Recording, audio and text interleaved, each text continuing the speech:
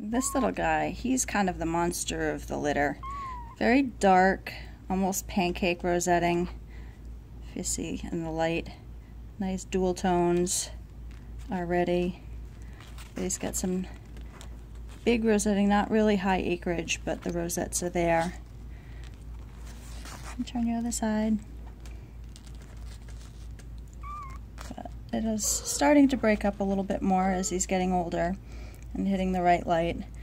So, I, you know, some people have called that a little bit more of like a smarple, but they are pure for spotting. So, he's gonna he's gonna be pure for spotting as well.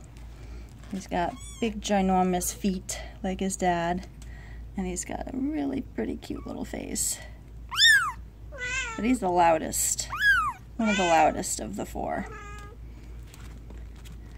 But get decent profile. Nice domed head. But there, he's he's the biggest out of the out of the group. Um, his base coat is a little bit on the grayer, like uh, lightish, lightish side, so he's not going to be as red, um, reddish toned as his dad. He'll be more the lighter tone as as Aria is.